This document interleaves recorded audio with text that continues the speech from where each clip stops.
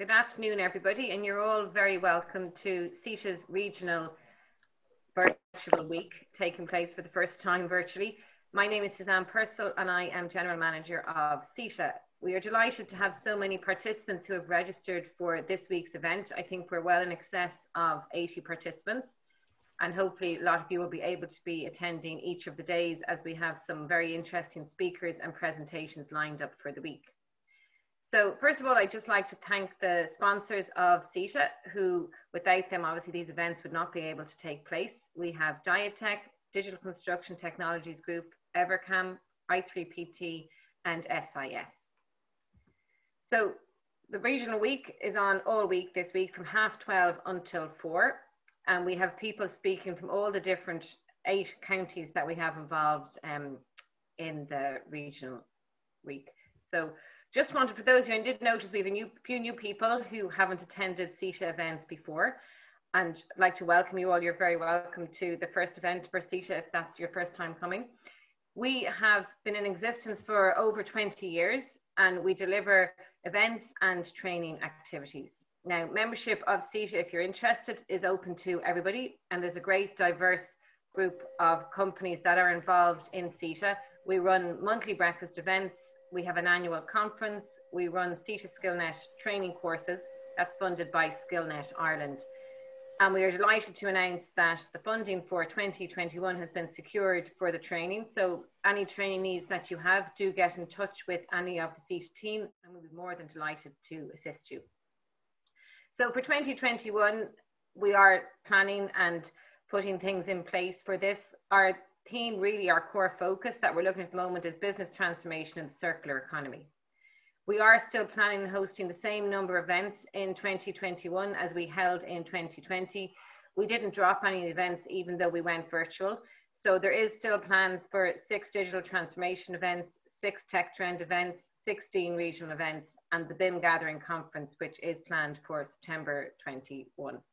So at this moment in time, we hope that maybe in quarter three and quarter four, some of these events will be able to take place face to face. If not, we will just continue to run them virtually like we have done all throughout the year.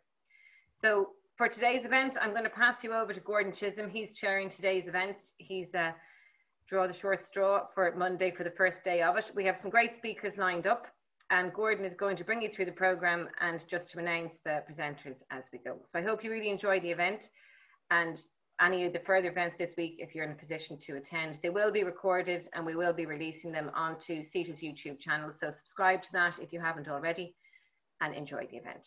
Thanks a million.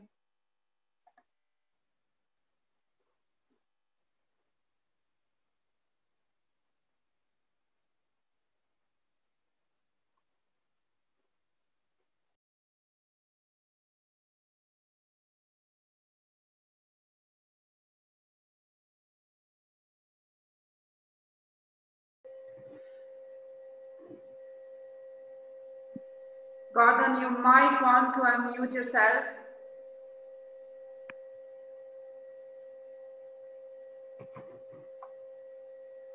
There we go. How's that? Perfect.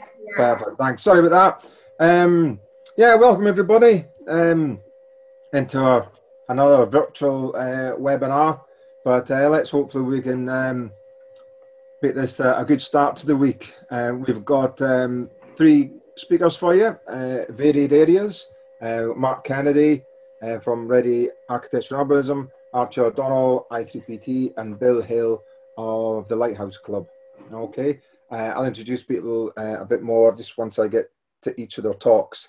Uh, what we'll do as well is we'll have a Q&A at the end, so I'll maybe keep the questions until that point, and um, we can get started. So just first off, I suppose I would normally just give you a wee update on what we're doing in, in Waterford.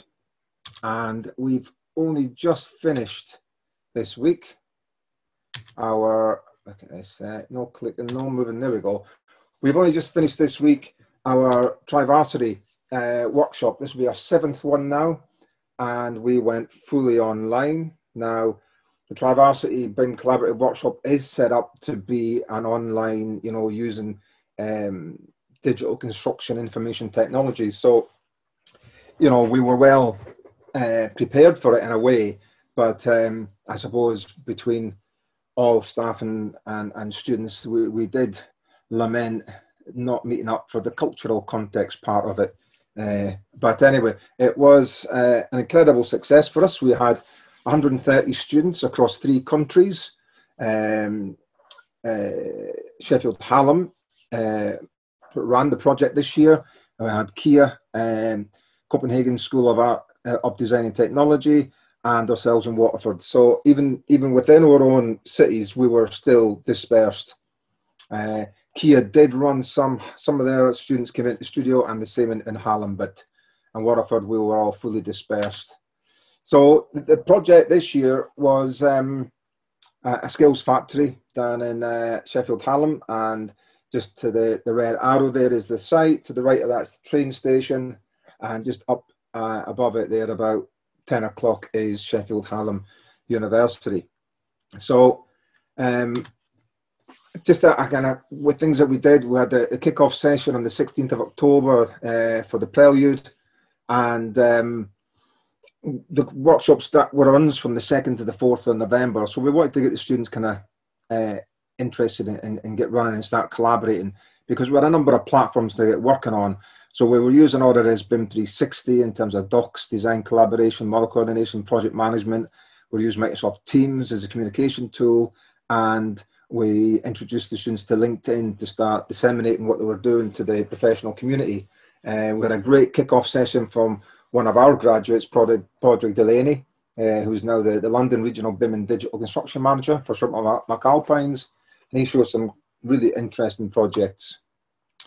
So this is the students, okay? And you know, when you're online, you've got to try and do something to, to engage. And um, so we asked them what to do a 30 second video kind of of where they are from, locations, what their workspace is like. And um, these are all going to get put together. This is a sample. They're all going to get put together and uh, a video compiled. Uh, the teams uh, operated on Teams. So um, 12 teams, uh, we covered architecture, structure MEP, and QSing.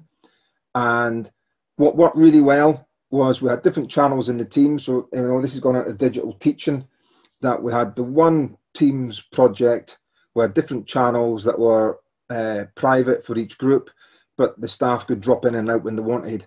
And what the students found really useful was just having that team channel on video all day long when they're working and they could just chat to each other, drop in and out. They even could go in and have separate little uh, video conferences if they were maybe talking about a particular element. We would drop in, talk to them, we'd uh, look at the work they're doing, do a bit of uh, design review, etc. Uh, all in all, it was uh, really successful. Uh, also, they could collaborate on documents over Teams. Um, one aspect that worked really well was shared lectures. So between the three different cities and institutes, uh, lectures were performed and um, for everybody to share. And that is something that we're, we're considering taking forward now, uh, where there might be an expertise in Copenhagen or an expertise uh, in Sheffield or Waterford that can be shared um, within our classes. So that's a really good outcome from this year. Okay, that's just the, the KEA workshop there where they had the big screen up there with everybody joining in Okay, and just some of the bits on Teams there. That's image in the middle with a red on it. That was them discussing where to put the stair cores after one of our uh, crit sessions with the group. Uh, BIM 360 on the workflow. Uh, so we had them looking at uh, setting up in, in accordance with ISO 19650, um, doing all the work through design collaboration and linking the models. So the models are pushed up, they were linked that way, uh, linking in out of respective folders from BIM 360. Uh, again, then assessing new work, remodeled, modified work within design collaboration, uh, and also model coordination. So, I mean, what was really great this year was we had um, a, a, student group, KEA took on the role of, of producing the MEP model and having that there for them to, to clash. Uh, predominantly it was BIM 360, but some of the students also looked at Navisworks to use that you know. So it's great outcomes, great learning for for all involved in that.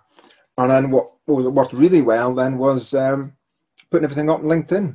You know, there was some great little bits of feed there. They were pushing out what they were doing, uh, and in a way, we got more understanding of what they're going on by by looking at those little shots than maybe the final presentation sheets. You know, uh, it was great to see a little bits of script in there from Dynamo. Uh, that was a class that was delivered uh, from KEA, who actually run a, a BIM cafe as well. And the final presentations there, that was group seven there. Um, to be honest, there was a lot, a lot of work put into there that's maybe, you know, they haven't fully uh, displayed, but they do produce a PowerPoint as well when they have all this sort of background information within that. So look, that's just really quickly, just sort of the stuff we've been doing and working, uh, trying to, you know, deal with being um, online. But in a way, this project and what we do in, in WIT and our, our architecture and technology program is you know we use the tools that are there you know we're doing digital construction and um, it's you know relatively working well everybody misses um, not being together in the studios but we can we can get by and uh, still at the same day produce quality projects like this over a couple of days um, over three countries so I think there I shall end okay and um, where's my screen sharing button? Everything's disappeared on me. Okay, stop sharing.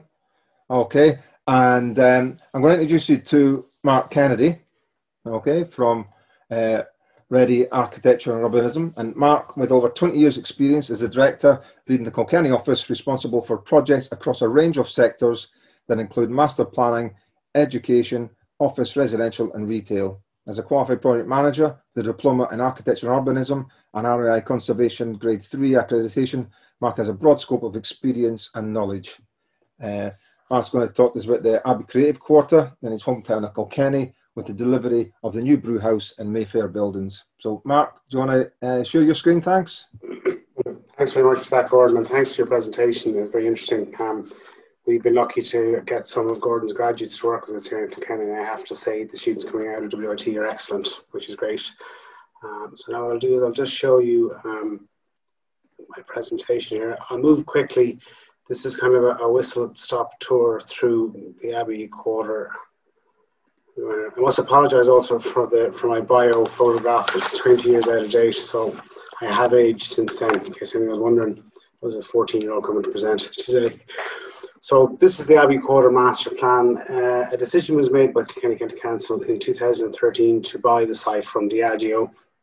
The site had historically been a location for brewing for over 300 years, and in a way, it being in single ownership for that length of time almost protected it from what happened in Ireland throughout various development phases, in particular the Celtic Tiger, where a large city centre site like that most likely would have become a, a big box retail unit. So the site we were given we the first task we had to do was to look at the existing buildings on the site and to assess what was to be retained and what was to be demolished and the first decision we made was that we would retain the brew house in the centre of the site and the Mayfair to the northeast of the site. Um, Kilkenny has very um, interesting characteristics as a city. It's very similar to Edinburgh insofar as that it has a main street with a with a castle on one end and a cathedral on the other, Edinburgh has a castle on one end and the palace on the other. And then in between that main street, you get what are known as herringbone streets, which uh, hit the main street in a perpendicular fashion. So when we were looking at the master plan, it was the retaining of that unique characteristic of the streets and space of Kilkenny that were paramount to our design. So then I don't want to dwell too long on the master plan because I want to discuss the buildings and show how we use BIM for the evolution of the designs of those and how the efficiencies of BIM were really instructive in how the buildings would be developed. So this is the overall master plan site here. Uh, the the uh, Parliament Street up into up into Street, the castle runs up. There's the castle here, the cathedral here, and it's quite a large site, approximately nine hectares in the city centre, with the brewhouse, brewhouse right at the centre and the Mayfair here.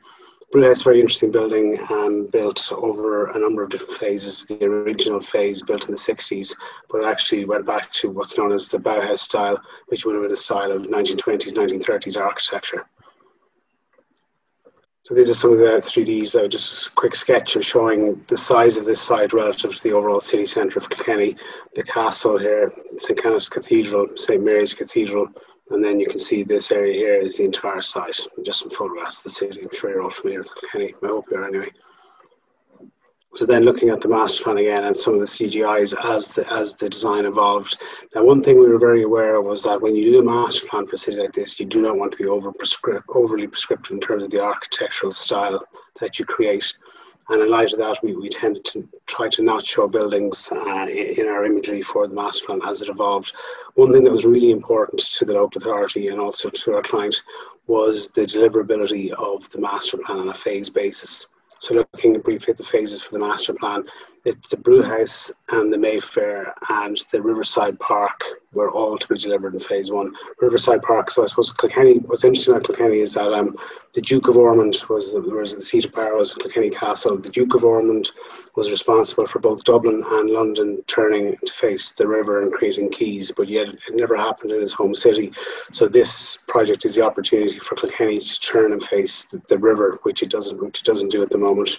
So the linear park in here and the brewhouse and Mayfair all on site at present. Phase two is the completion of the brewhouse to create what's known as Brewhouse Square in the centre of it and potentially a hotel to the west of the site. Phase three then will be two urban blocks along by the river. And then the final phase will be the delivery of buildings to the north of the River Breagagh along the central access scheme into the site. So again, just some of the softer imagery that we've produced of the site. This is the brewhouse here, the Mayfair in this location. St. Francis Abbey as a centrepiece of this large public open space, Evans Turret, and then the three blocks, three perimeter blocks um, with the narrow streets between them leading to this large public open space, the linear park along with the river. It's very easy to use. We try to keep them as soft as possible to allow for any type of architecture that might happen in the future on the site. So move on to the brew house. I have 10 minutes left. Um, so the brew house was the original, obviously, as the name says, brewery building in, in the, uh, on the campus on the Abbey Quarter. And it was probably built in four phases, uh, each in varying styles and quality, a, a very robust concrete structure. And we felt it was very important, both in terms of archaeology and in terms of the cultural heritage of the city, that this only example of a modernist industrial building in the medieval city would be retained intact. Another very interesting reason why you would keep a building like this is that underneath the eastern section, or the northern section of the building, is a significant amount of archaeology relating to the old um, friary. And um, the best way to preserve archaeology is to not touch it. It's a bit like Schrodinger's cat once you open the box, it's gone. So the, the idea here is that by keeping the brew house on the site where it was and refurbishing it, we're allowing for archaeology to be discovered in the future when methods and technology improve, as no doubt they will. So this is the view of the building as it'll look from the new public space that we're creating, Horse Park Lane, looking north towards the building. So this is this is this is I suppose um, when we first um, were looking at the site, there were a series of large buildings along by the river frontage. And as part of our process, we, we went through looking at the quality of each of these buildings and then determined that the Brewhouse and the Mayfair were the only ones to be retained, as, as uh, we mentioned earlier. These buildings in, in the background, this is the, the bottling store. Uh, where they stored the, the all the, the, beer bottles on the first floor, and this was the building where all the um, brewing vessels were housed. They were quite tall structures. That's two of them on the ground which have been retained for use in the landscaping into the future. So the Mayfair's over you can actually see at the moment there in red, all the various bits and bobs of it. It evolved over time without any real thought as to how, what it might look like. So this is the top photograph here is the Bauhaus element of the building as it would have looked before the work started. Um, a very clear structural system to the building a very fine glazing to it. And also in, inside here is a precast concrete stairs with the red spindles and um, ter- terrazzo uh, lining on as well. Very interesting stairs which we've kept as part of the designs. And this is the view of the brew house as it was. Um, from from the cathedral tower. What's very interesting with the building is that there was a large brick facade here visible from Parliament Street, and that is where they always had signage in the building, whether it said Smithwick's or Diageo. But I think it's part of the history of the city, a living memory, and we felt it was really important that that blank wall be kept as part of the design development.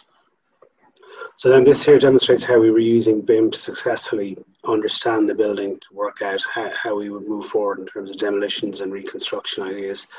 Um, the building had a huge amount of different levels, different structural solutions, and as we arrived on site, uh, where columns were meant to be, they weren't. Where walls were meant to be mass concrete, they were blockwork. Where they're meant to be blockwork, they were mass concrete. So it was very complex, and really without the use of the point cloud survey and then us building the full model, it would have been almost impossible to understand how this building um, was put together and how we could deconstruct and put it back together again efficiently. Now, when you look at these images at the, the post demolition survey, what the building looks like, you start to wonder why did we bother? Would it have been more less less, uh, less expensive just to knock the whole thing and start again? One reason why you wouldn't do that is, is just the archaeology. And the second reason is that when we when we cost check this against the construction of a category A office building in Kilkenny, this comes in at approximately half the anticipated cost of a new build, which was very surprising to us. So it is quite efficient what we're doing here on the site.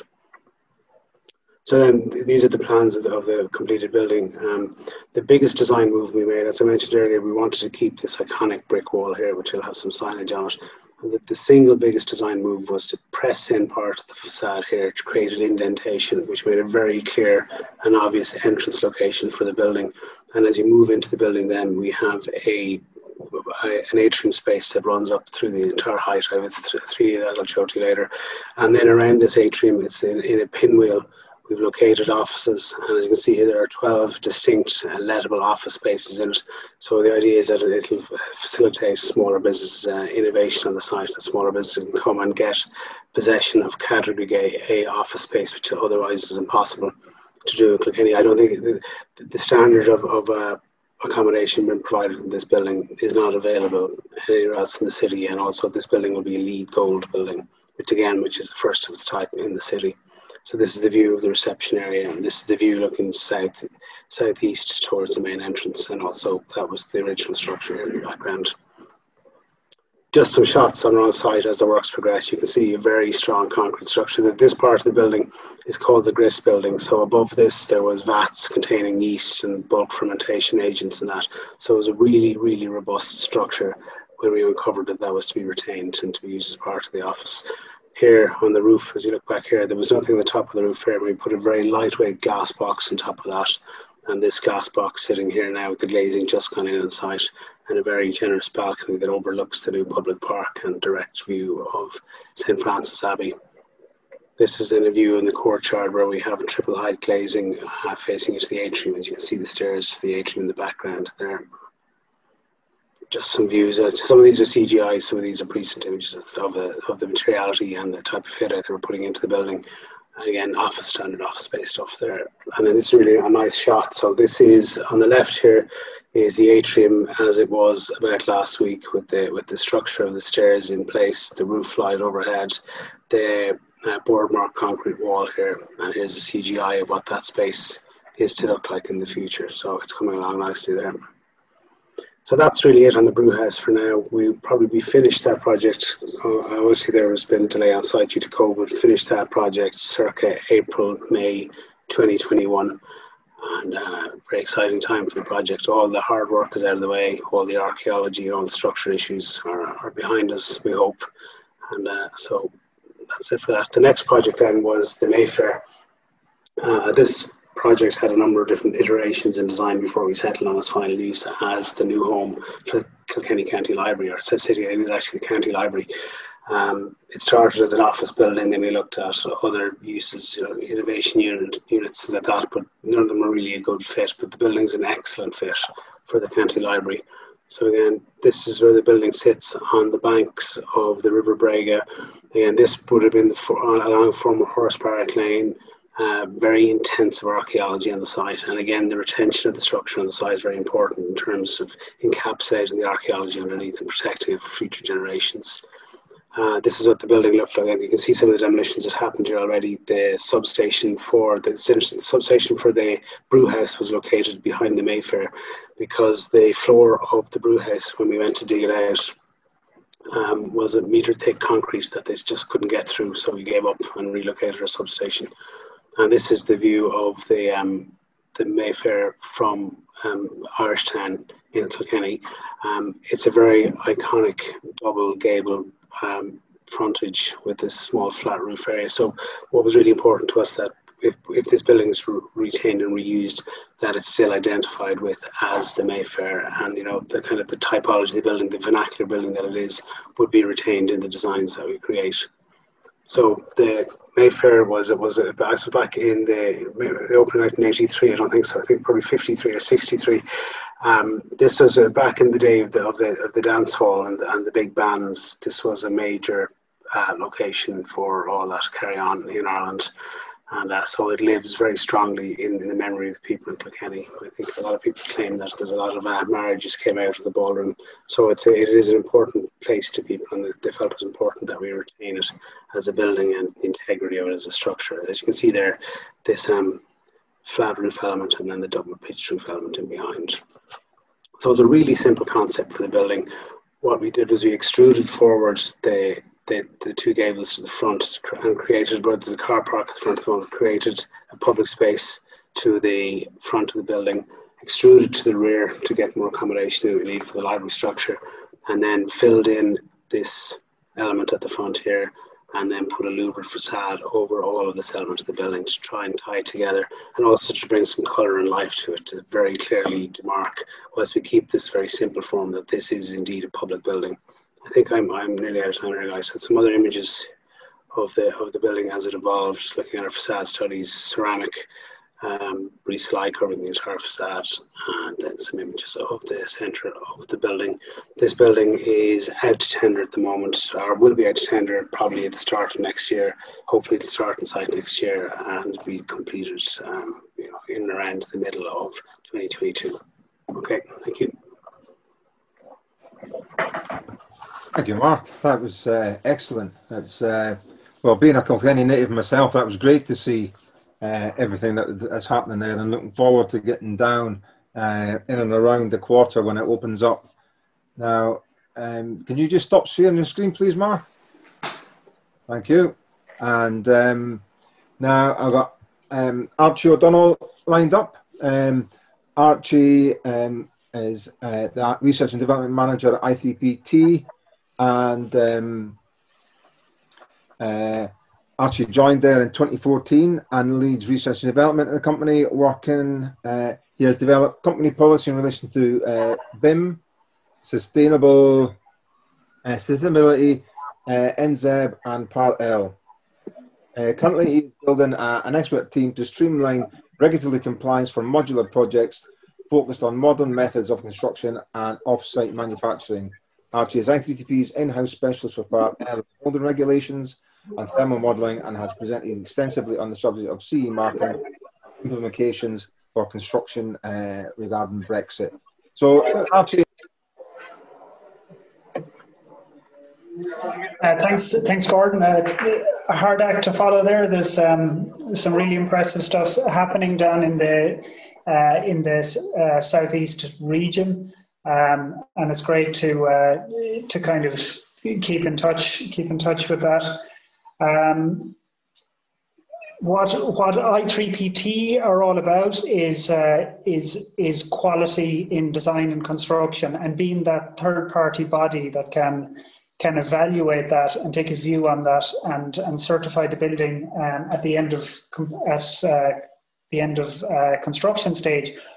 But lately, we've been asked to become involved earlier in projects, just in project inception and in setting up the scope of a project, but also in the handover. That buildings now seem to have a longer tail. There's more. Um, uh, there's, there's more emphasis on the operation and on ma- maintaining assets and, and keeping the value of assets uh, beyond um, handover stage. So, what we've been researching here is you know what does integrated project delivery what what what is that one single process or procedure that can deliver a project? And how does that uh, live from cradle to grave? And how does that bring in all of the project the project stakeholders? So um, as part of that we started to look at well what is the dna of a project? What's that one thread of, of information that, that, that one thread that weaves its way through the project what's that golden um, thread really and and it's interesting to see how how you guys have done it in uh, in in the, the competition there that you can collaborate on a European wide basis across all of the, the different sectors of construction and all of the different uh, disciplines. Um, I also want to look at just the big issue at the moment is just how fragmented our industry can do. So how can we all pull together as one, as one industry, as one to deliver, um, you know, the, the shared objectives of a project. And, and that's what's impressive to see in Kilkenny, how, you know, it's, it's looking at a citywide view. It's looking at how, how you can have archaeologists and, you know, ecologists and lead consultants uh, bringing sustainability into the, the heart of a project and delivering delivering that along with conservation and these other aspects of a project that previously wouldn't have been fundamental but are now.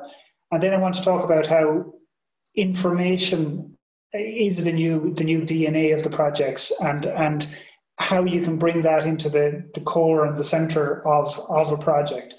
So looking back in history, I, I um, I used to share apartments with with uh, with architects when I was in college, and they always talked about this this sacred geometry that behind all buildings there was this simple rule that everyone understood, and I like the idea that you know can you have one simple rule for for modern construction that everyone can can understand, and it seemed to be that that, that geometry within a building made everything work within. The, the, the, the building. It worked structurally, it worked for materials, it worked for proportion, it worked for acoustics. And, you know, it, uh, the, the quotation there is from the, the, the, uh, the Middle Ages. And it's, you know, if, when you take numbers out of things, you know, there, there's nothing left. Uh, without computational, everything is, ra- is wrapped in blind ignorance. So it's saying, well, what's the lessons from you know, uh, the past that we can reuse. And, and it's, um, and when we look at those buildings that have withstood the test of time and, and are still iconic uh, at, at this point, that you know we look at that there's there's a certain proportion behind buildings that that gives them an attractiveness and, and resilience and robustness, and and and also a beauty. So so this the the the knowledge and the rules and the structures that lie behind construction they're actually quite simple but from that you can generate very complex forms very robust structures um, and and and very intricate fractal fractal geometry. But the fundamentally behind that there's incredibly simple tools. So the guys that uh, the guys and, and girls that are working on the tools can use very simple methods to achieve the most complex um, constructions and achieve within that um, you know kind of harmonies and frequencies that that go beyond merely merely building. So so we find in the past that you know the stonemasons could adapt and apply a few simple geometric rules and operations simply scribing arcs to set out very complex um, geometries and, pro- and provide very sophisticated designs. So that link between the uh, the, the the architect and the site was was was was quite simple. There was an understanding there, a, a, a sacred language almost, and um, that could withstand you know generations. So that the, the life cycle of that was was almost in millennia that it took to build some of the, you know the, the hundreds of years that it took to build some of these these cathedrals and coming, you know, the, the tracing floor in the cathedral, these proportions were brought down right into the tracery of the arches, that it was understood in all in all components. And you could see this geometry start to work its way through even the, the timber structures that you see in, in medieval buildings in mainland Europe. Those um, describing of, of, of, of arcs and squares and, and you know, uh, hexagons is something that had a structural truth to it and, and could make structures that were incredibly fine and incredibly um, well engineered, uh, you know, using simple, simple rules. So, um, when we look at this in modern times, we can see that that you know that that collaboration and communication can be delivered with BIM. This is um, a maintenance model for uh, Durham Cathedral, and you know you could say that those simple rules are carried through to the to the modern day. So, what are the lessons for that? You know, we can we can see in architecture that you know the computation that we have at our uh, at our hands now allows us to build very elaborate structures you know that that that uh, hang lightly onto onto a building um, you know even closer to home we can see the the the, the, the simple geometries that that that can enable you know difficult structures to take place and that's the collaboration there between engineering architecture site uh, finite element analysis um, can, can drive quite sophisticated end results.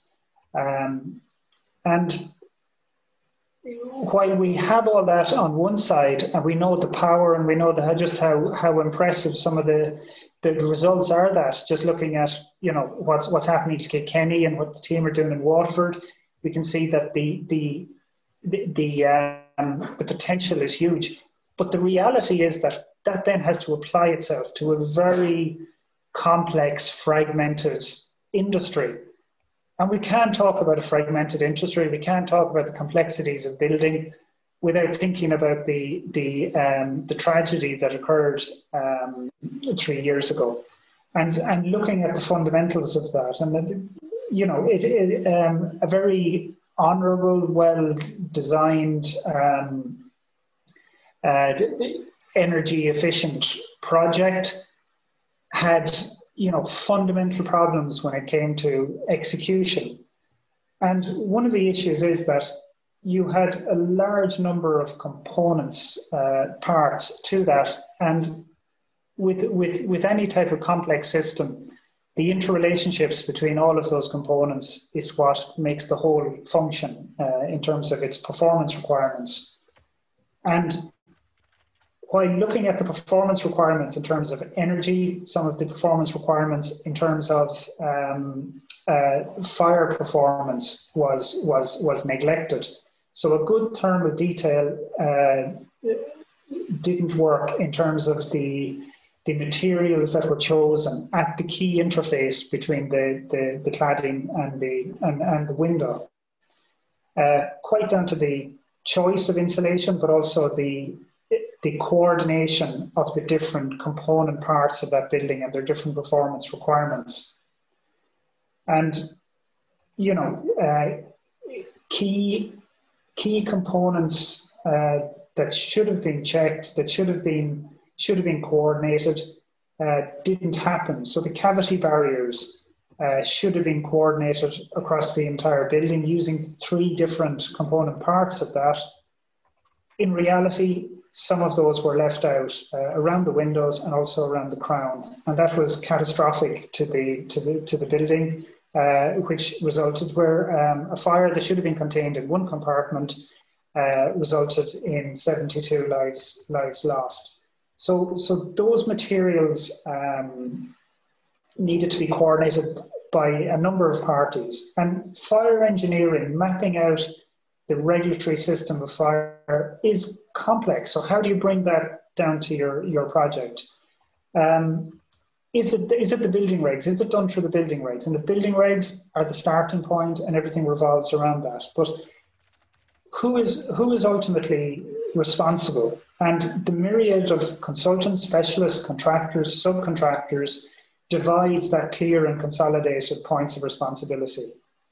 So what's the solution? Is can BIM be the solution? We would say that BIM is all about information, it's all about people, it's all about communication and message. And that's where the, the solution lies. That's what, what BIM has to do going forward. If we look at design stage, we'll see that when you look at facade, it was made up of a whole range of components. And who was designing that? In reality, the design team were responsible as a design and build pre-tender it was down to the design team to specify and design the performance requirements of that.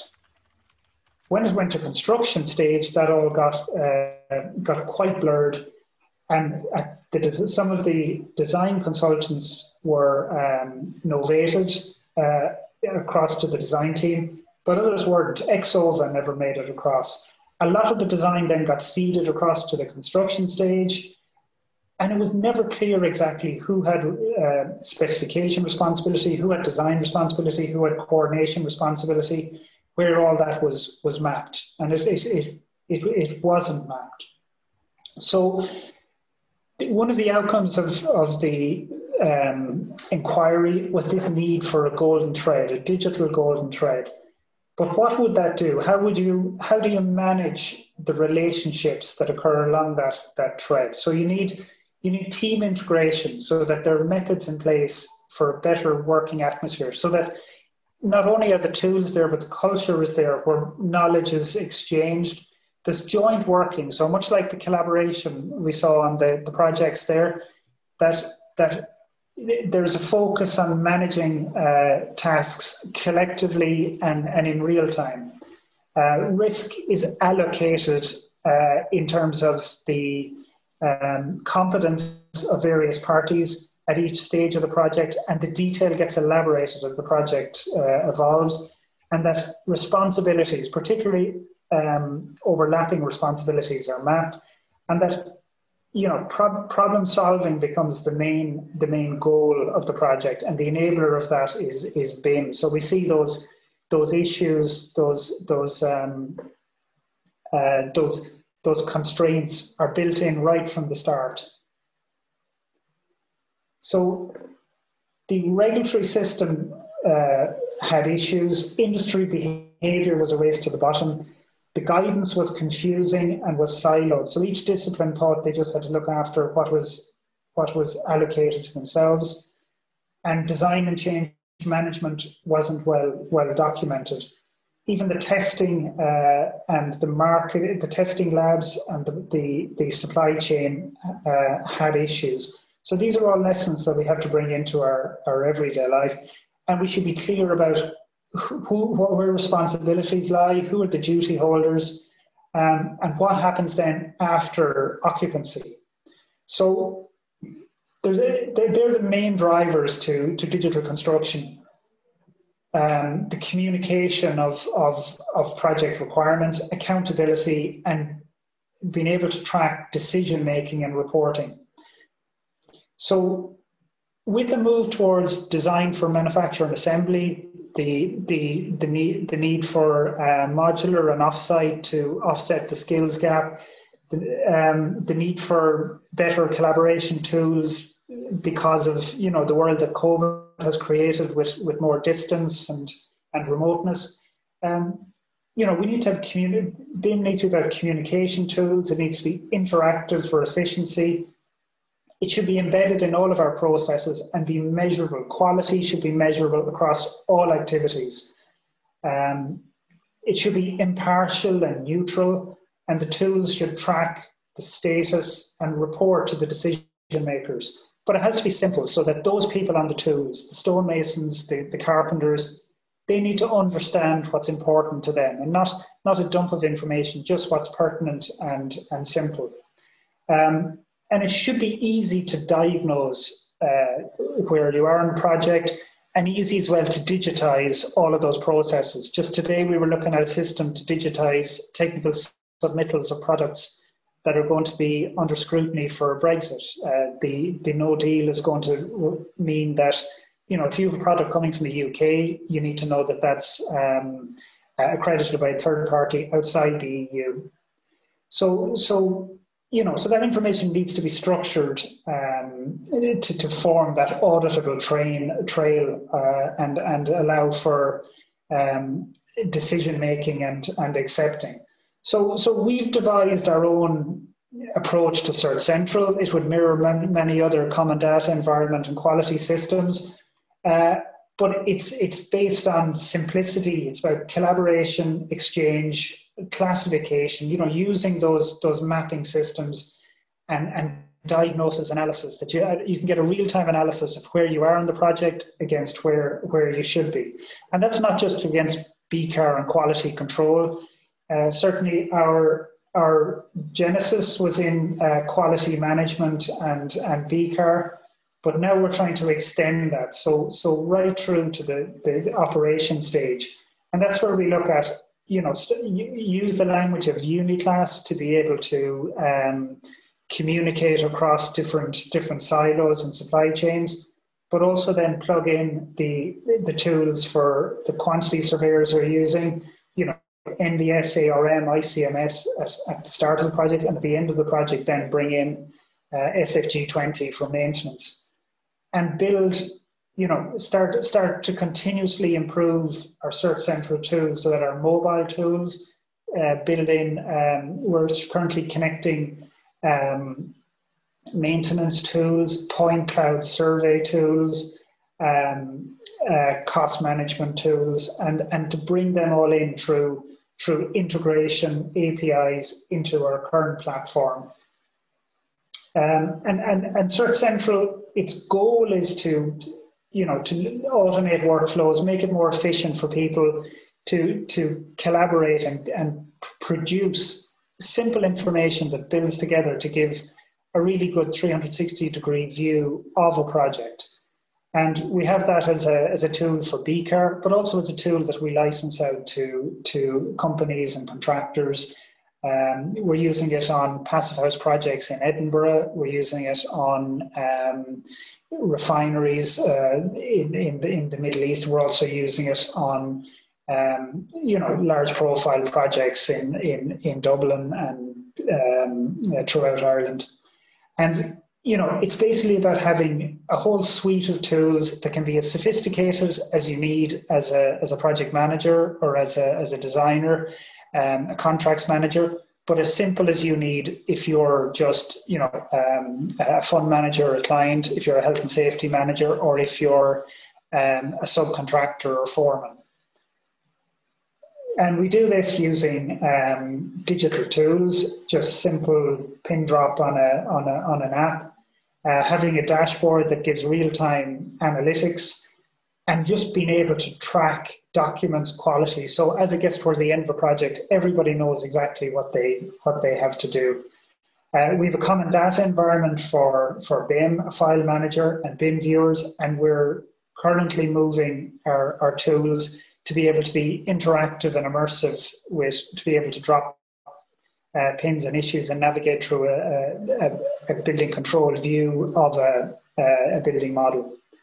Um, so it's it's all about communication, keeping it simple, and going back to that idea that you have that one singular rule that everyone on the project understands, and it's just that that everyone on their iPad can just simply call up a floor plan, drop an issue. They can they can check their timeline to see what tasks they have, and it's it's simplicity, but that builds to be a very complex system.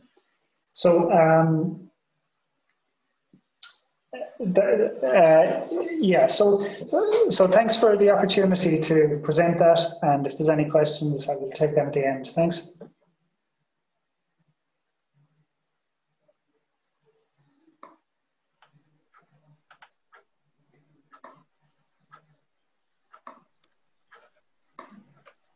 Gordon, are you there? Gordon, yeah. Do you need to amuse yourself? Good afternoon, everyone. Sorry I'm late to the meeting. Hi, Alan. How are you? Thanks very much, Archie. That was very insightful. Um, there we so, go. Hi, Gordon. How are you? Sorry, I'm only getting on online now. I missed your your your talk earlier. But right, uh, okay. I'll give you a private preview later on if you want. You know, don't you you won't miss nothing. So how are you all down in Waterford? Good, good. Are you online? And we're all online. We're all doing away. Yeah, a Yeah. bit online, a bit of studio work. Yeah, yeah, yeah. So it's uh, it's great to. I, sorry, coming in late. It's great to see this uh, Regions Week. I know the guys have done a great job in getting a, a whole program there. And um, as I say, only sorry I missed the earlier presentations. But um, so Archie, are you finding now very quickly? Are you finding um, in this at this time of COVID nineteen that there's been a real there's been a repurposing or, or a refocus around digital, and this is now really really important for your clients? Yeah, I mean, the, the, the first lockdown gave people an opportunity to take stock of, um, of where they were going, of their goals and objectives.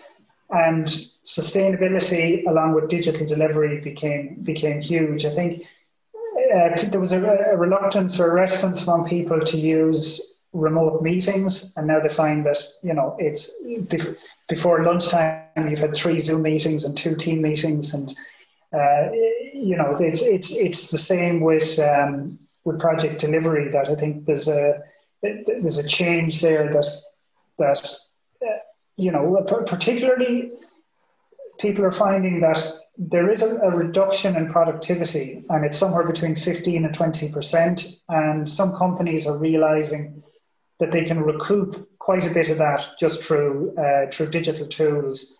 And there's also, I think, um, a need to reduce waste, inefficiencies, um, just the costs of, of um, aborted yeah. And, and delays and you know, and even even disputes like nobody wants to wants to get into arbitration and things like that. So so so digital is is is seen as you know if if if if you're fighting to struggling to find a way of actually making a project work, um, digital could be you know the difference between success and failure. Yeah, and actually, uh, I, my last comment in that is you mentioned the Hackitt review, and actually uh, there was quite a lot of reference to Hackitt indirectly at the CitA Digital Transformation event last week. I know PJ Rudden made reference to this golden thread, uh, this golden thread of BIM data, and actually, um, you know, it, I suppose what, what the Hackitt review has done uh, is is thrown a spotlight on the need for building owners and their contractors to understand what products and materials are actually in the building. You know, um, as it's being built, um, so that they can, you know, monitor, you know, it's it's its its appropriateness and its uh, and so on and so forth. So it's it's interesting that um, it's it's now becoming a, a very important um, important component of the building design and delivery. You know. Yeah, and it it, it used to be that uh, that digital was just for the designers, or the contractors had their own version of the model mm. um, that they would use just to identify where the, the, the anomalies and the, the the cost differences were between design and, and delivery. Uh, but but you know currently the, the, the emphasis has moved away from away from that, and it's actually the the funders of the project, it's the end users that are, are asking for that information. And yeah. it's it's the the, the um the, the clients that are asking for that aren't the ones that we would expect it to come from. Um, and you know, so so uh, particularly in the in the UK, they seem to acknowledge that you know it's it's that immutable record um, that that that that having um, a good digital record of the the story of a building is important, as well as having a very accurate model of what was actually built, so that there's a huge value um, in an asset in in in knowing what what its costs will be in terms of maintenance and you know, we're seeing a lot with PRS, with with housing, and with um, with other projects that you know it's no longer speculative. Build it, sell it, get out of town. It's it's build it, operate it for 15 years, package it up, and, and hand it over. Um, so so the value after 15 years of that asset is the value of the maintainable assets and and the the uh, durability of that building. You know the the um, yeah the life cycle uh, value of that building. So at the end of 15 years, you want to be able to say that, you know, point, uh, click on um, a certain component. You know, that could be the the extract fans, and say, look, these were replaced after the, the filters and the, the fan motors were replaced after year 10, mm. and every single year it's had a service. So, so that's kind of the value that the bricks and mortar, the the physical um, asset, the land value, can actually can actually be um, only one part of it, and, and quite a considerable value is the the operational costs, the maintenance cost, and the the the, the eventual handover cost. So there's a different a, a, a, a different paradigm associated with with, um, with with some building assets and and. Uh, mm-hmm. Uh, particularly assets that are developed on, on a campus or for a for a blue chip company. They're they're they're looking at that and looking at that digitally, and that's why we're starting to see that the the communication between the different um, sectors and silos that there's, a, there's people looking at like John Egan, like like Matter Lab. They're looking at, you know, how do you get that interoperability between different different functions and silos, and and that's the that's where where the, the most important work I see it that this the CitA group and that the EAC Hive are doing is mm. is looking at how do you knit this all together. Yeah, it's keeping that project information model updated constantly through the life cycle. Uh, sorry, Alan. Okay, that, that's my bit done. Sorry. Is it? Yeah. Oh, thanks. No, I just we're we're, we're just absolutely. Gonna, you have Bill next. Yeah. Yeah, we've got Bill up next, and we'll do some more uh, Q and A's just at Thank the end here. Thank you. Okay. Thank you. So, Bill, are you ready there? I'm ready. Yeah. So we've got um, Bill Hill, who's the CEO of Lighthouse Club. Um, Bill, um, it's a construction industry charity. Bill, Bill gained over 20 years' experience holding senior positions in blue chip giants Hewlett Packard and Sage PLC. He has a passion for customer service, has a wealth of experience across the major business disciplines of marketing, sales, operations, and finance. He joined the Lighthouse Construction Industry Charity in 2013 and since then has played a major role in significantly growing the profile and significance of its charitable work within the construction community. The charity now operates a 24 7 industry helpline it has also developed a construction focused health and well-being app and plays a central role in building mental health, the construction industry's key mental health awareness and support program. So, Bill, um, very interesting you're going there. Your topics is road to well-being, and um, if you want to share your screen, take it over. Uh, will do. Thanks very much for that uh, glowing introduction. I wonder who wrote that. Yeah. let me uh, let me share my screen if you know obviously I read it then, eh? Must have been me. Okay, let's go with the slideshow. Okay, that, that's me when I go out to dinner. Um, okay, thanks very much for the opportunity to, to speak to this uh, this group. Uh, it's, uh, it's a great privilege and pleasure to, to bring this subject, which is probably completely different from all the other subject matter that uh, you've been listening to so far, uh, but it's equally equally important, I think. Uh, we're going to be talking about uh, the road to well-being, and you know, basically, you can't see a headline anywhere at the moment without somebody mentioning uh, mental health and well-being. Um, so, what I'd like to go and say is talk about is what is the mental health and well-being within inside the construction sector, and uh, what we're trying to do about it to improve it. So, so let's start with the. Why, why should we be interested? Um, in the mental health of our workforce uh, within construction. That goes across all the disciplines, from you know all the architects down to the hard boots on the ground, uh, etc. The mental well-being of our sector is vitally important. Um, not only just if I think everybody would agree that if if you've got a healthy mind, you've probably got a safe site. And uh, listening to to Archie's comments as well of how fragmented the businesses are uh, then it's vitally important that you've got people that are pretty switched on. Um, but unfortunately, we're not in a wonderful position. Um, there's uh, been a lot of research on this subject, and I think everybody knows that uh, construction could be a hugely rewarding um, industry to be in, but it also has its risks as well. Um, I won't go through all these stats, but the two that uh, I will uh, emphasize is stress, depression, and anxiety accounts for a fifth of all work related illness.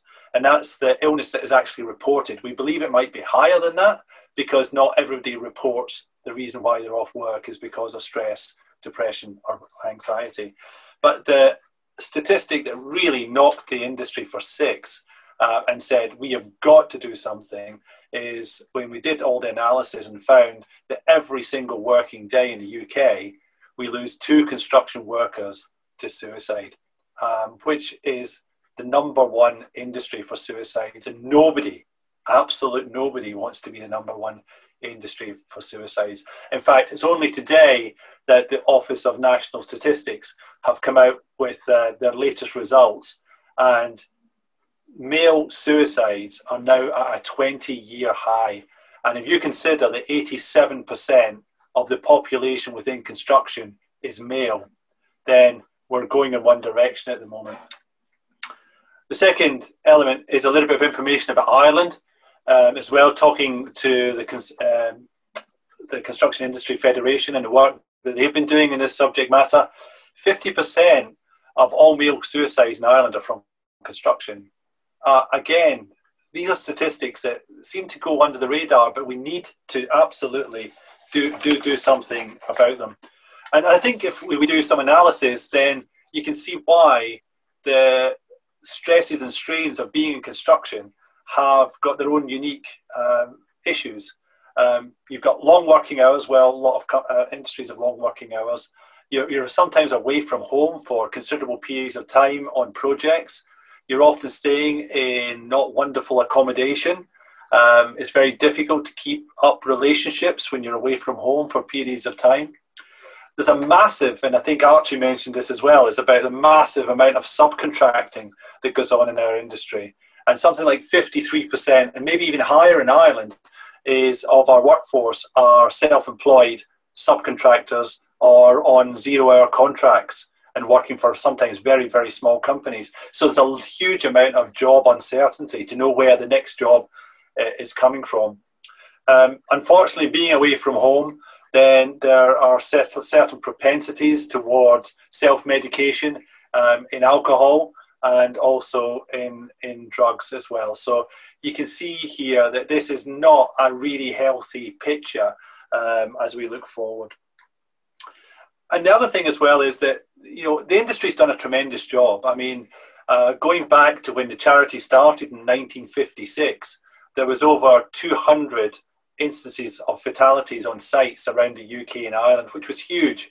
Um, that is now down to somewhere between 30 and 40, maybe 45 um, across modern average, which is 45 too many, but it's a vast improvement. And I think everybody has done a massive job uh, in looking after and trying to drive safety as a priority. But I would say to you is that for many years we've been absolutely shouting safety, but we've only been whispering health. Um, the health side of health and safety has not been uh, at such a major part of what we've been concentrating on. So in, uh, in 2017, um, the government in the UK uh, asked two, two people, Lord Stevenson and Paul Farmer, who's the CEO of Mind, uh, to put together um, something that tells us what is the state of the mental health of the industry uh, going forward. And also there was the construction sector deal, which was on the July um, in 2018, which talked about mental health as a major component of it, trying to improve that uh, within the industry. Um, but going back to the Thriving at Work report, which is it's downloadable. It's a very readable report, so and, and it, it's very generic, so it's very easy to to get a good grasp of of what's been applied there. But but what they came up with six core standards, and again, I'm not got the time to read all these out, but these slides will be sent to you um, to, so you can read them at, at your leisure. But there were six core standards that said these are very simple, basic things that a company can do to improve um, their workforce well-being um, and take it forward. And they also came through with four enhanced standards to say, okay, once you've achieved those other standards, here's some ways of making these even better um, to try and improve uh, the, the well-being. And it's all on this road to well-being, uh, which is a major, and I think somebody mentioned it earlier in one of the presentations, a cultural shift uh, within the industry uh, towards seeing this as being a hugely important factor. And we did some research on how many people had applied uh, these um, uh, standards and um, it's it's okay and it's moved, uh, which is which is good. It's moved in the right general direction. Fifty-two percent of the organisations that uh, we surveyed had achieved the, the six core compliance elements, um, and 28% had gone further and achieved applying uh, compliance against both uh, uh, standards, both the standard and enhanced. So a long way to go, but definitely uh, an improvement on on where when where we've been. So, as a charity, we've been working with the industry and saying, look, what can we do as a charity? What can we do? We're right in the middle of this. We are a charity that is totally dedicated to the health and well-being of the construction sector as a whole. And uh, we've been group, working with a group called uh, Building uh, Mental Health. And uh, we've got over 500 companies now signed up to a charter that says, uh, and the charter is somebody in senior management saying, we believe that mental well-being of our workforce is a priority and we are going to do something about it. And basically that's all the charter says. And they go onto the website, download the charter, sign up to it, send it back to us, and we put them on the website saying, You've signed it, well done. Now, if that's all the company did, then um, it wouldn't go much further than that. Having senior management say they're going to do something is one thing, having them then to do it is, is also another thing. But I'm delighted to see that many companies are moving along this road to well-being. And the second stage of this is that we believe that every single person in the workforce, whether they are a staff member, a subcontractor, um, an agency worker, whoever is on your site should have access to an employee assistance program. Um, and and some of the bigger companies have now extended their private employee assistance programs to say that this will now include our subcontractors. However, that is not practical for every company. So this is where our charity has stepped in and we provide a free employee assistance program and a free supporting app. But again, it's, it's a bit pointless having these great tools in place if you don't get the individuals to talk about the problems. And, and for a long time, mental health has been a taboo subject. Uh, there's, it's very difficult within the male psyche, especially, uh, to open up about how you feel about certain things to your fellow worker. Uh, in the workplace. So we developed a toolbox talk, which again is downloadable free of charge from this this site. Um, it's a very it's all scripted, and any people person can deliver it to their workforce.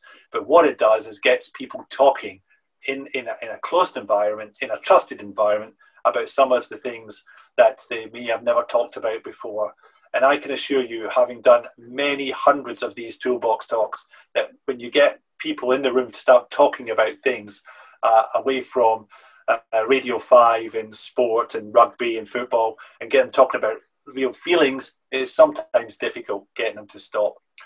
The next step does involve a little bit of money, uh, which is it'd be really good if you got all your people managers tuned in and and and, and educated on being able to recognize when somebody is struggling and how to approach somebody who's struggling uh, to help them to get signposts to get extra help and the fifth step in this very simple process is it's a good idea to have somebody who's accredited as, as a site well-being a site well-being champion maybe accredited to um, uh, to mental health first aid standard, which is a two day course, um, or I Am Here is one that we're working with as well. And big companies like Sisk have taken on I Am Here, and uh, they're pushing that out to well-being champions dotted around their sites, uh, which is uh, which is a good thing.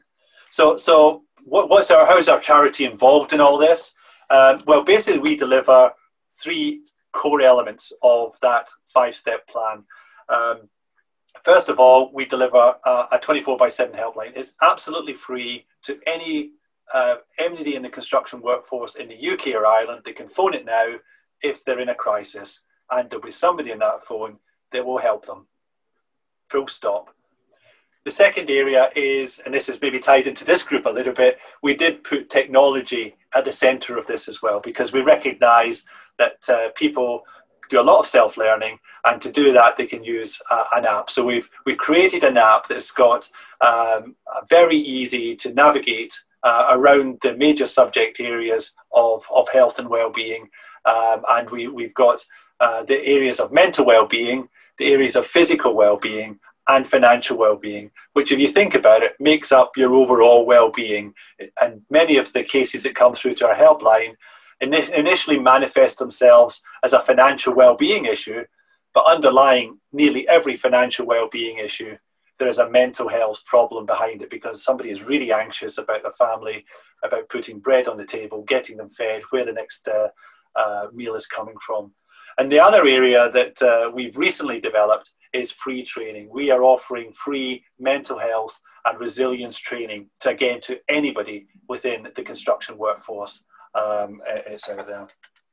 And the, the mental health and, and, and well-being training uh, looks at key areas like coping with stress, work-life balance, mindfulness, resilience, meditation, which is again goes down interestingly well with construction workers. Uh, believe it or not, it really is. It does. It does. It has taken on well. We've got another one called Bang on Budget, which is all about how to do financing, what's good debt, what's bad debt, because a lot of our cases get themselves into serious debt problems. And one that is very relevant at the moment, which is a CV workshop and at the interview, because with uh, with uh, the issues within our industry and through the pandemic that's here at the moment, then there's a lot of people that are, are in jeopardy of losing their jobs, and, and many people have actually done so.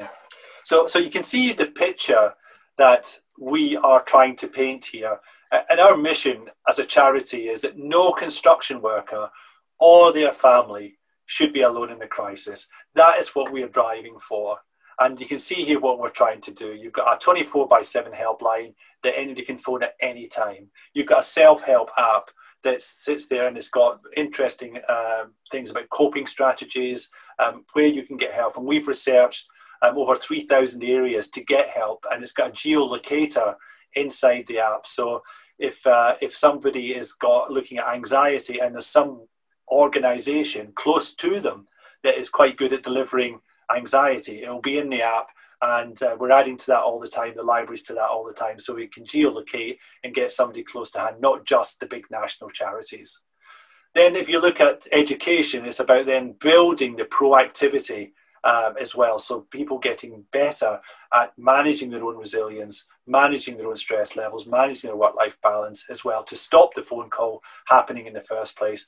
And the final big piece is trying to get people on site. Somebody on site is a go-to person who, who you can trust, who you can give your confidence to, who's got skills that can listen to your problem and, and be able to take it um, on, on board. So, so my message to, to this group is, you know, what can you guys do to help? Um, and if you're in a position of decision maker authority for your organization or you're meeting with a lot of other construction companies, which you are um, in this, this group, is spread the word. Please spread the word that we are here for them, both in the UK and in Ireland. We're here for them 24 7. And, and by spreading the word also, then please get hold of these little helpline cards um, and the posters, get them on the site so that they can see. So get hold of the helpline packs. And if possible, um, then make a contribution to the charity in some way, shape, or form. You know, ideally, that would be great if it was a, an annual pledge to, to make some donation to the charity, which would be absolutely ideal. Uh, the second area which you can help us, and this is geared towards fun, so we're not all about gloom and doom. Um, it's about a bit of fun as well. Uh, we've created, and again, using a bit of technology, uh, we've created an e-Christmas card, um, and you can buy the e-Christmas cards from us, and then you can ship them out to your employees, contractors, suppliers, and inside each of those e-Christmas uh, um, cards, there's a, a Christmas cracker um, draw, uh, to, to, to register for a Christmas cracker. And the individual who registers will get back a unique number. And we're going to have a great big Christmas party um, on the 18th of December a big virtual party. We're trying to get thousands to come to it, where we've got lots of entertainment, and we'll do the Christmas cracker draw, and somebody out there will win ten thousand euros, stroke ten thousand pounds if they're in the UK. Um, so, so it'll be great fun, and we'll have a lot of uh, a bit of a laugh, and hopefully bring a lot of cheer uh, at Christmas time. And and finally, um, I think uh, as Archie was talking about the golden thread, I talk about the golden nuggets because if you if you can't support us in any way, then uh, basically my message is please follow these three simple golden nuggets, um, and the world will be a better place. The first one is from the Samaritans, and it's don't ask once, ask twice. So if you're walking by somebody, um, ask them um, if they're all right, but don't ask them once, ask them uh, twice. And, and in Gordon's words, you don't just go, "Are you all right?" You go, You're right, pal?" I think that's how it said. And and so it's mildly aggressive, but it's well intended. Um, but ask twice. And the second one is from a guy called Dr. Stephen Covey. Um, and basically, it's seek to understand before you seek to be understood. We're all very quick to throw solutions at somebody and quickly get into the problem and even identify it with a problem that you've had. Um, it's far more important you sit back and let that person tell you what is going wrong with them because a problem to them is real. It's not necessarily when you look at it through your lens that you see it as a problem, but it's a real problem to them. So make sure you take the time out to seek to understand before you seek to be understood. And my final thing is from the Dalai Lama um, always be kind. There is absolutely no reason to be unkind to another fellow human being. So even if you've got a difficult message to give, if you can deliver it in a humane uh, way to protect their dignity and support them as much as you can through that problem, um, that is very beneficial. So if nothing else, if you can't donate and you can't get your e-cards, then please just follow these three golden nuggets and let's change the culture within site construction and make sure that every worker has got a place to go in a crisis. Did I manage to catch up some time? I'm not sure. You did very well there, Bill. I'm not sure about the uh, the um, taking off the accent now, but well, you see, I'm more cultured than you, Gordon. oh, thanks very much. Yeah, I thought it was a pretty good impression, Gordon, to be fair. yeah, yeah. I'm, I'm, well, I'm going to say, yeah, I'm impressed. I'm well. We'll take it. We'll leave it be there anyway. I'm just be kind is ringing in my head there. But look, Ben, that was um, that was very interesting. and Unfortunately, um, it's statistics that um, are sobering. Yeah, yeah. Um, and I'd say we, we, we could all identify some, if not all, of the risk factors that you you, you lined up there, um, which is crazy that you know we're really all aware of what issues are, and um, you know how to how to deal with that. You know, like taking that forward there. You know, is it are you looking at better contracting and conditions for for the construction industry workers? Um, is that where you see help working? Well, I, I basically see like we, we're there to catch them as a safety net. Again, the industry, and, and I see the industry moving quite a lot. I mean, I visit a lot of sites, and I've seen over the over the years the welfare um, elements they put into the larger sites are quite significant now, and uh, you know they offer you know individuals coming to that site a, a reasonable place um, for their own well-being. But but then when you sometimes get onto the smaller sites, the, the the the resources are not there for that.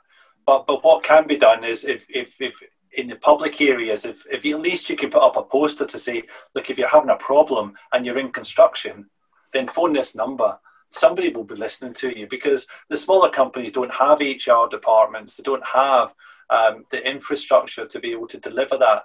Um, but the small companies can invest in this program and actually give people the, the little helpline cards that we've got, you know, the you know, little helpline cards like this. And on one side, it's got the UK numbers, and on the other side, it's got the Irish numbers. And it's also got, you know, you would see this, but it's got some key numbers to call as well, like the Samaritans or 111 in the UK. And in Ireland, it's got um, the similar, the Samaritans, and things like uh, MABS and, uh, and bereaved IE and all this sort of type thing. So it's, it's got key numbers on here. And we've got 600,000 of these little cards in circulation now.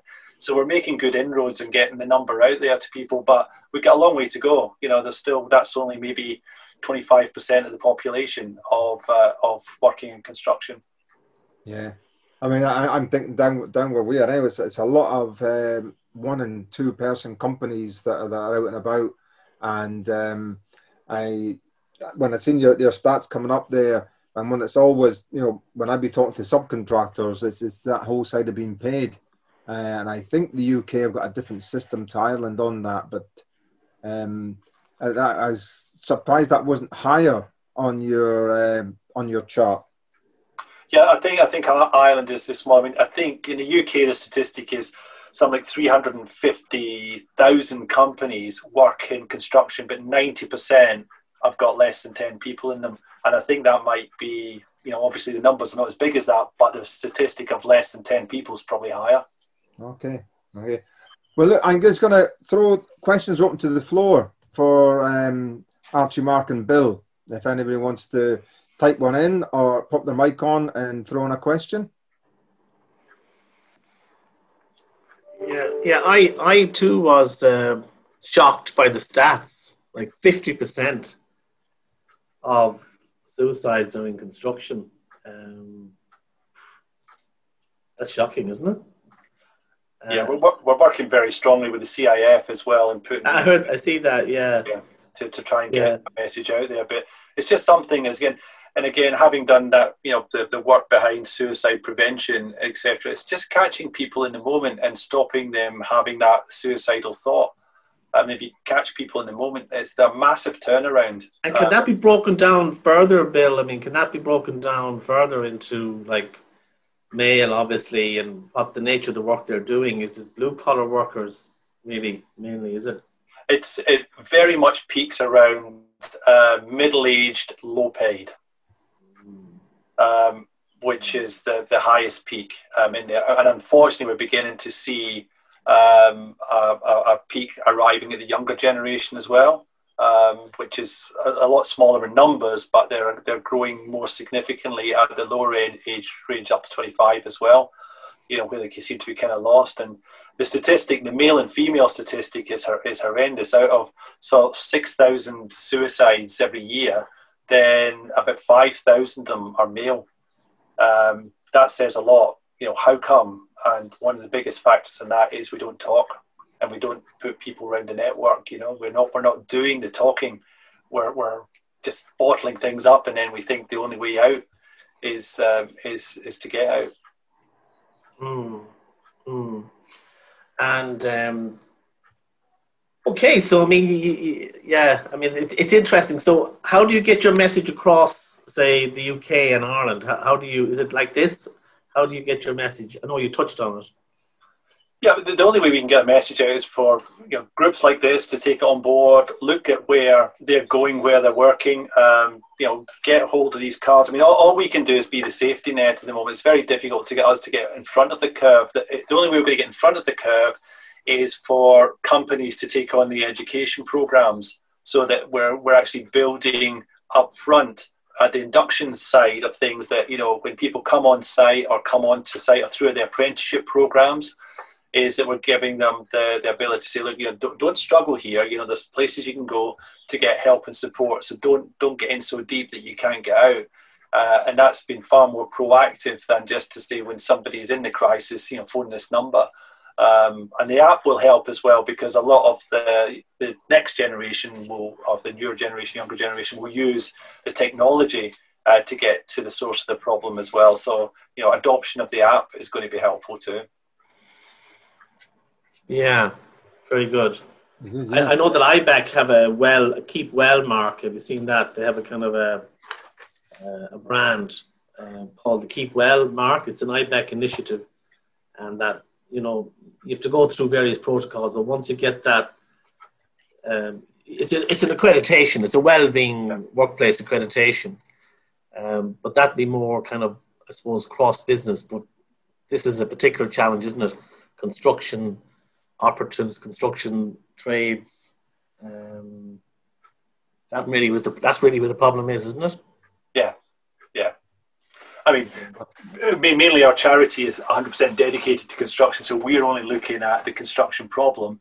But you know, in, in Ireland, in the past, it has been agriculture has been a big problem.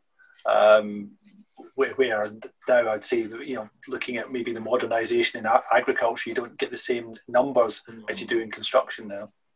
Mm-hmm.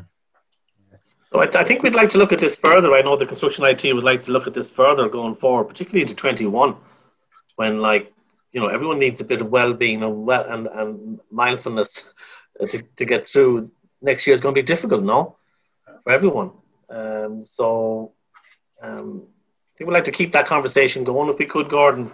Yeah, no, definitely. And I, I was just thinking there that you know, as you were going through it there, that you know, I've not seen your cards down at the college, but I wouldn't be up in the trade section, so I don't know um, if they've been sent out to the colleges and the ETBs that are running training programs. But that may be a, a, a good place to to be getting in touch with apprentices. Absolutely. If, if you get contacts there, you know, absolutely, we'll we will make the contact with them and, and get them loaded up with cards and posters and get them out to the public places. And the more that happens, I mean, if people don't know to contact us, we can't help them. Yeah. Okay. Well, I'll have a I'll have a, a, word with, with our guys down there who run the apprentices uh, section because uh, that does make a bit of sense there to be getting in at that level anyway. Absolutely. You know, you know because certainly all the colleges would have uh, their own in-house uh, elements for uh, helping the students, but in a way, the apprentices are, are on campus or online on campus the whole time. You know, so you know maybe they're falling through the, the, the net. Yeah, and it's difficult for apprentices as well to, to sometimes finish off their apprenticeship because you know, Section 106 says he to bring the apprentices on, but sometimes they've only made it partially through their apprenticeship uh, before the program finishes, and then they're chucked off and they have to go on the conveyor belt again. Um, so they they have their own difficulties in getting their apprenticeship finished as well. Yeah. Hi, Gordon. Sorry, do you have any any maybe question for Mark? It's just because we do really need to wrap up. Yes. Yeah. Sorry, Mark, for missing your talk earlier. So, yeah. Yeah. No, no, sorry there. It was just um, uh, just that last topic there. Sorry, Mark. We, we, I, I had a couple of things written down for you, right? And, right. Thank God. But, no, it was, and I tell you why. Purely, it was purely because it. Well, one of your images you showed linked into a few discussions that we had were on our Trivarsity project there when the students fired ahead and they were doing structure MEP and, and uh, architecture and had their floor to floor heights and it kind of kind of looked like everybody quite a few of them had taken the default four meters floor to floor height and um, then we got talking to them you know about the, the heights to be looking at and it, you had an image up there of the refurb on the brew house and it looked like quite a low floor uh, under beam height uh, so how did you deal with? What, am I correct in that? And how did you deal with the services? Uh, you are correct, and we had to run them in the raise access for uh, above and below to get the services into that. So in that particular room, you have uh, from finished floor to underside of beam about 2.2 meters. Then the beams are about six, seven hundred deep. So in the desking areas, it's not too low, but in terms of getting services, we couldn't cross any services underneath those beams. You know, very, very tricky.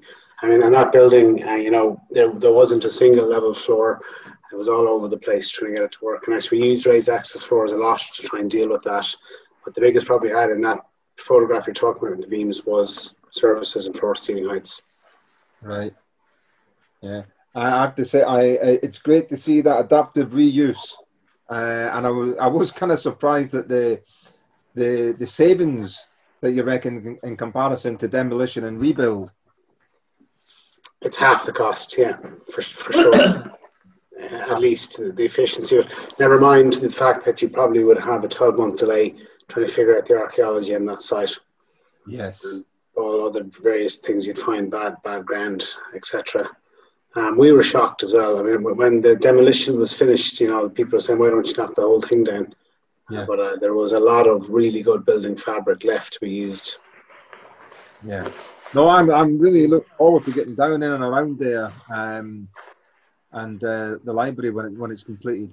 Uh, uh, so, will the public be able to access the river through you know the the, the, beautiful images you had there down beside uh, Mayfair and the brew house and uh, right down the river? Yeah, that's all a public park. Pardon? At what point will the river walk be opened up? Um, the end of this year. The linear park should be complete. Okay. And open to the public. Great. And then that's projected to be, is it sort of cafes and bars down there, is it? In, in, in, in due course, yeah, but I mean, there'll be no buildings down there probably for another five years. Okay. Uh, so the brew house will be finished in the middle of this year. Um, phase two, the brew house will probably start. The, the design will start in a few months. I'm sure it's out to tender for design teams at the moment, and then probably the next building will be the hotel on the south east of the site, close to the river. Okay. Yeah, that's already good. Look, thanks, Mark. No um. I just see no other questions there, right? But I want to put a question out there because it was uh, Grenfell was touched on, right? And anybody can answer this, right? But uh, it might end up being Archie. But anyway, just when he brought Grenfell up there, and I seen in the news uh, this week that Kingspan have removed its fire cert rating for its K15 board. So, did anybody else pick that up in the news this week? No, No. Archie. Yeah, I mean, there's been questions about uh, about about some of the testing that that has gone on in the in the uh, accredited test labs, and and um, it's kind of like who polices the police. So the test labs were always seen as the um, you know the, the the the one the one organization you could trust. But when you spoke to people who had actually been at tests, they did mention that there were certain rigs that performed better than others, or you, you were you were allowed into the lab to make adjustments and you could move thermocouples. Um, so, so that was kind of known in the industry, but one of the issues was that when a lot of the tests were replicated uh, two years ago, uh, most of the systems failed, even Rockwool-based systems. But the the, the fundamental issue with cladding was that desktop desktop assessments were permitted. So you had you had three routes to compliance within um, the, the Part B of the of the of the of the building regulations in the UK, um, and one of those was that you get a full scale test. Now the full scale test had to be built exactly as it was in the rig, same fixing, same material. So if the outer material was fiber cement, which is fairly inert in class A1, uh, and the uh, and you replace that with an ACM, that's fundamentally different. The what the testing bodies had actually said is that if you change the color of the outside facing, that in itself constitutes uh, a change. But it wasn't understood by the industry. I think one of the issues, um, and and specifiers and designers probably know this know this better. Like Gordon and Mark who probably know this that. Um, it, the, the, the, the interpretation of, of fire safety in the regulations was very ambiguous and vague. And, and so the difference between spread of flame and contribution to fire, the use of UK regs versus um, uh, European test standards, it, wasn't really well understood. And fire engineers were often reluctant to get involved in, in specification and in, in, uh, in, in, in items like that. So it's, I mean, what it points to is that the, the problems that happened in, uh, in Grenfell were, were a bit like the, the is it the Challenger spacecraft that it, it, it was it was a systematic failure across the entire um, industry, and it was this idea of the the holes in the Swiss cheese all lining up. You know that it wasn't just one issue; it was a combination. Like any of those issues on their own wouldn't have been problematic, but it was a combination of eight or nine different simple steps that weren't taken, or checks that weren't done, or decisions that maybe uh, weren't taken that that collectively led to a catastrophic failure. You know, so so, so I don't know. Is there any other view on that from the the architects in the room?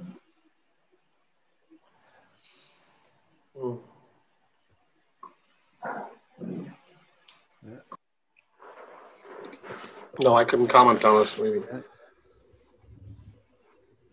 You, Mark? Dangerous to comment on it. Yeah. Yeah, Yeah. yeah. But, um, yeah, no, I mean the things I, I got in from from from looking at that stuff was was the changing of specifications, etc., and um, you know the issues around that. but that was an interesting article there uh, about that accreditation changing, that, that set accreditation changing, you know. So um, uh, I think they only done it on, oh, anyway, start of the week there. So I don't know where that leaves us. Does that mean that buildings that relied on that certification in their cladding systems will have a retrospective problem with compliance? Well, what I what I read there was when it was tested in 2005, then when it went into market in 20, 2006, the recipe had changed. Right. And that's where the and that's where it's been withdrawn it. And it was only because it was it was linked in with the um, the Grenfell Tribunal. I think it came up there at some uh, discussion at Grenfell uh, this week. Mm-hmm. So anyway, I mean, all that um, has all got implications. Um, but just just linking back to, to what we were talking about, Archie in uh, Grenfell and all what happened there. Again, you, you've got what Bill was talking about. Um, that you know anybody that worked on that project and all these little systematic issues. I mean, you know, it's always in our industry what can come back and catch you later on a number of years later. It, it, it doesn't, uh, you know, once you finish a project, it doesn't always necessarily uh, sit there in the past. No, they don't. They don't end. Yeah. So, any any final comments there? Uh, I see Bill's got to go, and Yeah. so, I, so thanks, Bill. Thanks, Gordon. Thank you, Mark Thanks and Archie and Gordon. Bill. Thanks, Mark and Thanks, Archie. That Archie was and Mark. Great. It was it was a great first day, Gordon. Well done. well, thank you guys. It's, it's always good to get talking with, with, with everybody. You know. No, it was great. Yeah. It's going to be recorded, so it'll be going up onto the CitA YouTube.